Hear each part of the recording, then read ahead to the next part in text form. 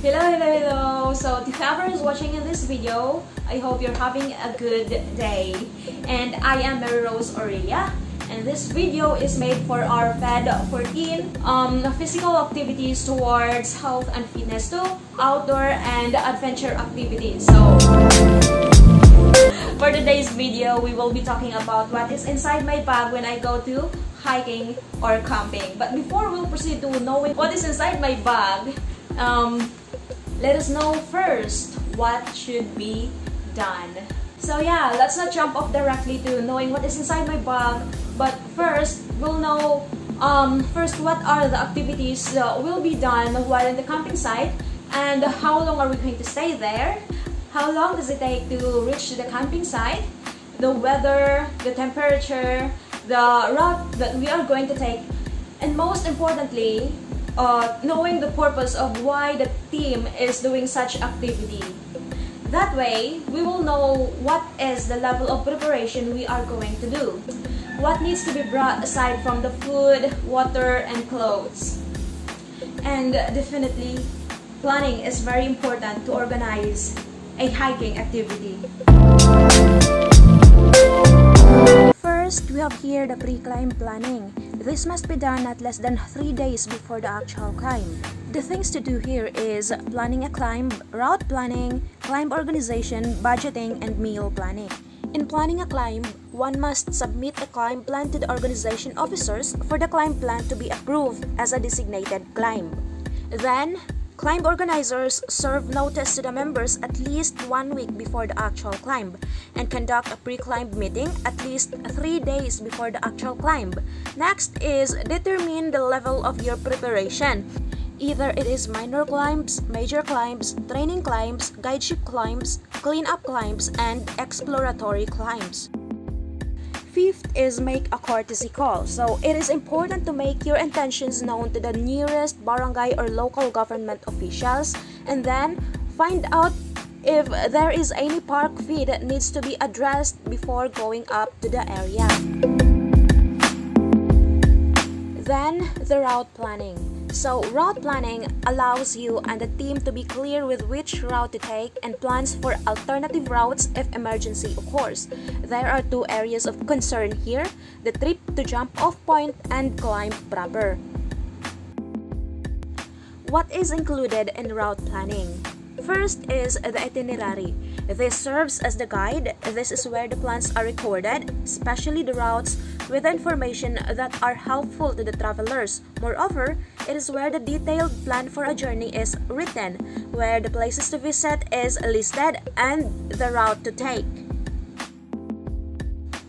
Then, know the transportation to be used to and from the expedition, possible lodging, the budget of the whole trip, the amount of food to prepare and bring, and the type of equipment that must be brought along.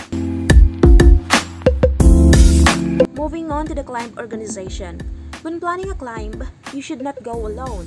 Rather, you should go as a team. On the one hand, upon going as a team, the participants have played a role to make the climb secured.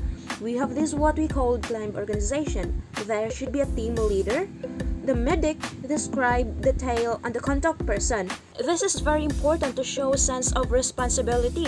However, the person with higher role is not the only one to show responsibility here, but everyone who participated. Then, the budgeting. This is very important to make the hiking plan very much likely to happen.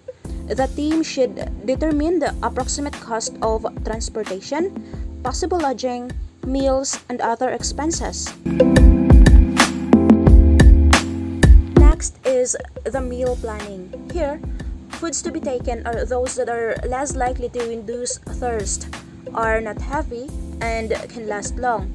The food to carry must be enough for the days and night you spent in the wild. Also, there should be extra rations because we might not know emergencies occur, so it is better to be prepared.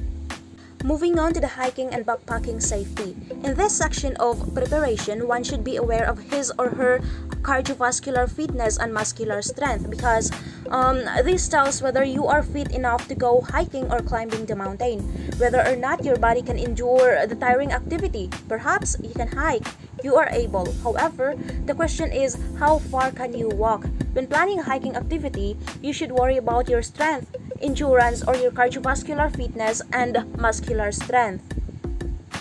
Then, the camp management.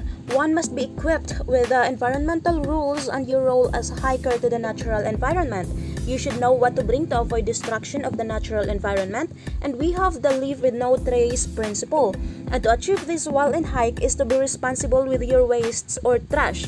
Bring something where you can dispose your trashes and not just throw it in the ground. Do not bring things that can pose destruction to the wildlife animals. Either way, do not make an act of environmental destruction. And the equipment in hiking and backpacking. So here, um, the equipment you bring must be the essentials that will support your survival in the hiking and while in the camping site. So yeah, hello again guys. We're now in the exciting part and let us proceed to knowing what is really inside my bag when I go to hiking or camping. But first, as you can see, I have changed my clothes. Uh, something went up and that forced me to change my clothes though. So yeah, I have here a backpacking checklist that will serve as a guide for me to really check whether I have prepared um, all the things that I need when I go to hiking or camping. And uh, yes, here. This one.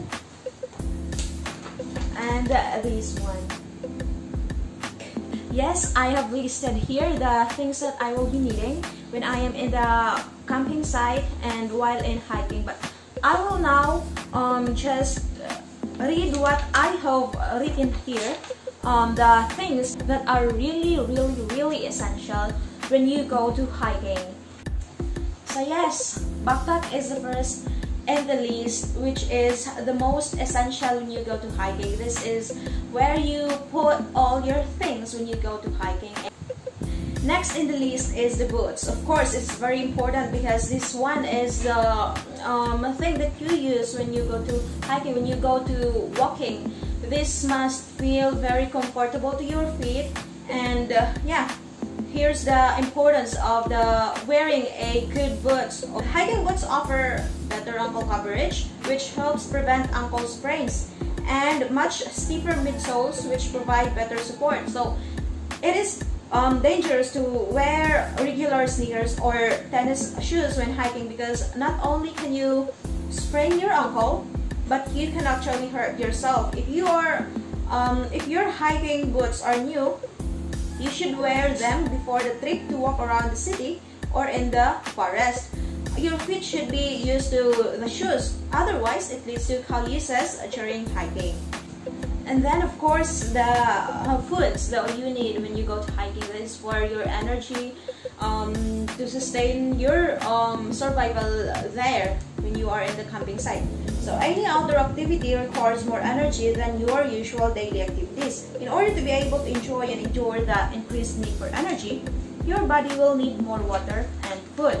So pre-cooked are better than raw foods. Foods to bring are the banana chips, the tuna, trail mix, cereals, hard-boiled egg, jelly, fresh foods, dry foods, comfort foods, and, and here are other essential things or equipment to prepare the pack rain cover, clothes, sleeping equipment, tent, insect repellent, rope, Swiss Army knife, whistle, scissors, watch, water treatment tablets, first aid kit, water bottle, map, compass, headlamp, repair kit, towel, wet wipes, camp shoes, and photography equipment. And then, yeah, that's all that will be um, the very essential things that I will be bringing when I go to hiking. And in conclusion, planning a hiking activity, one should be well equipped with what must be done and what must be prepared. Uh, you are planning to go in a remote area and you must be reliant on yourself for your survival and the team's survival. Whatever you fail to do so might affect you and your team. Be responsible in doing your part as one of the participants in hiking activity. And that would be all. Um, thank you for listening. Keep safe and I hope you learned something from here. And bye!